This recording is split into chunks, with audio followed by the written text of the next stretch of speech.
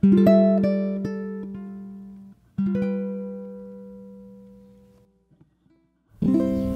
please, entreat me not to leave you or to turn back from following you. For wherever you go, I will go, and wherever you lodge, I will lodge. Your people shall be my people, and your God my God. Where you die, I will die, and there will I be buried.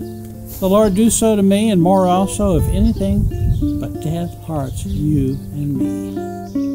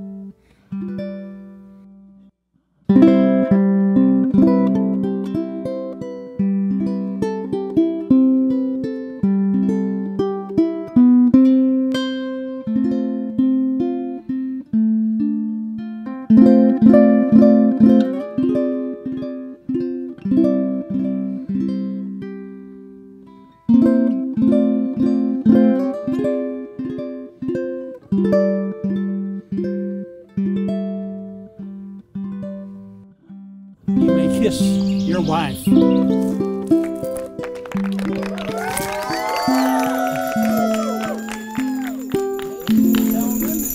Mr. and Mrs. Hudson.